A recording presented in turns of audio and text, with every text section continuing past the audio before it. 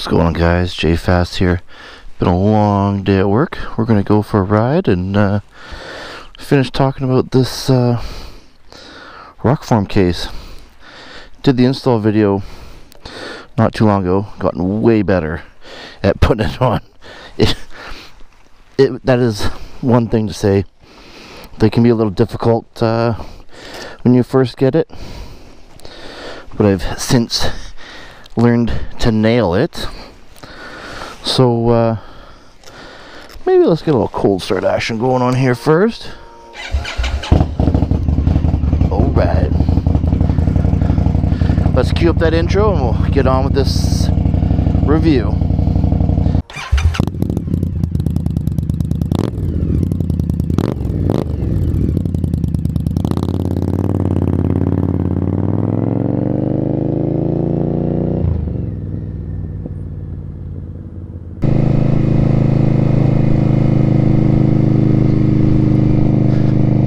Alright guys, what's going on? I got a couple things I want to do today on this ride, but the main reason is to adjust my mirrors here.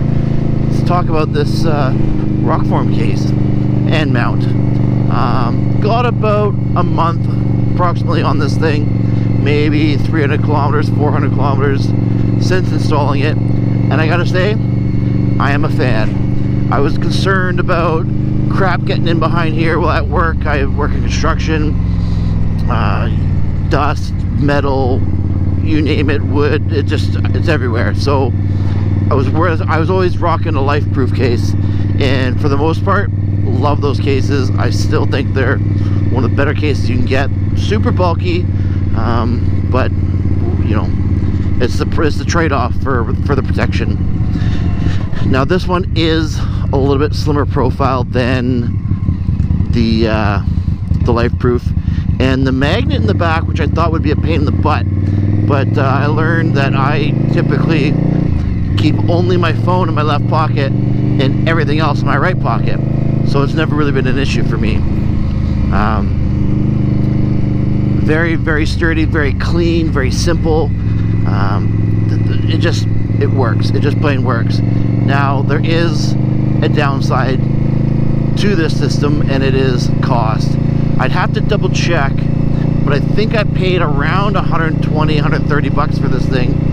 And of course, like a week later, they had a sale on. Just my luck. But, uh, you know, it's alright.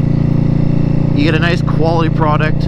And uh, I, I, having talked to some of you guys in the comments when I did the install, is that Indian actually makes a mount very much like this. And I got to thinking that you know, I think I got on this from following Tony Carbajal, the, the stunt rider for Indian. He rocks Rokform, and it makes sense that if he's sponsored by Indian, sponsored by Rokform, chances are those two are connected. I can't confirm that, but they do look very, very similar. And had I known, I'll put a picture up of the uh, the Indian mount. It's got the nice Indian logo. That's just a clean looking piece as well. Looks like it's built aluminum. The case, I don't know if it comes with it or not, but um, you you know, it looks good. Now, the Rokform does supply extra bits that can be attached to, say, a GPS or another phone case. So I could I could use a LifeProof case on this one if I wanted.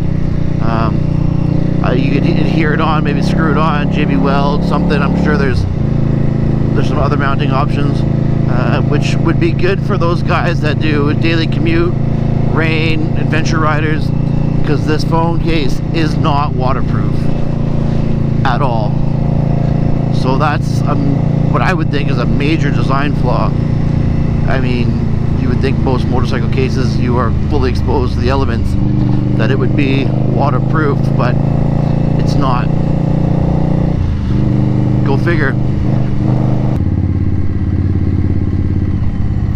Look at this thing.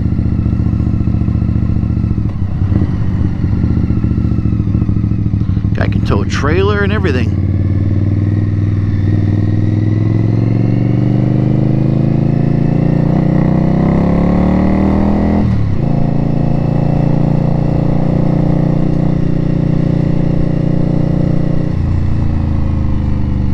I don't know. Those, is that a motorcycle? Do you call that a motorcycle? Got a motorcycle rear, motorcycle engine. Oh, almost crossed the double line.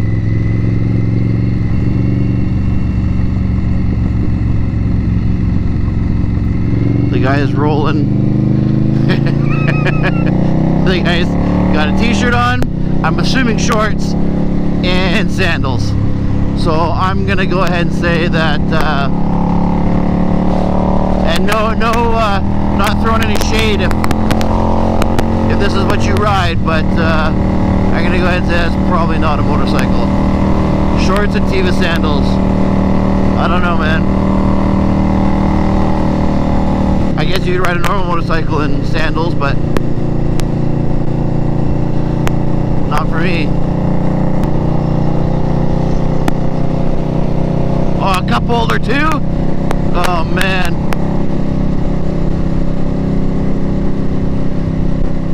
I don't know if I'm jealous or still confused.